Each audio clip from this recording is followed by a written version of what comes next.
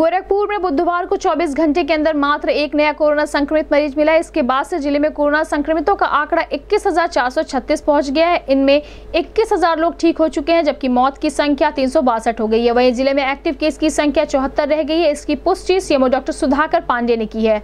Corona की रफ्तार कम होने से स्वास्थ्य विभाग और जिला प्रशासन ने राहत की सांस ली है। इस संबंध में सीएमओ डॉक्टर सुधाकर पांडे ने बताया कि बुधवार को मिली कोरोना रिपोर्ट में ज़िले के ग्रामीण क्षेत्र के गगहा में एक मरीज़ मिला है। इस संबंध में सीएमओ डॉक्टर सुधाकर पांडे ने लोगों से विशेष सावधानियों को बरतने की अपील भी की है।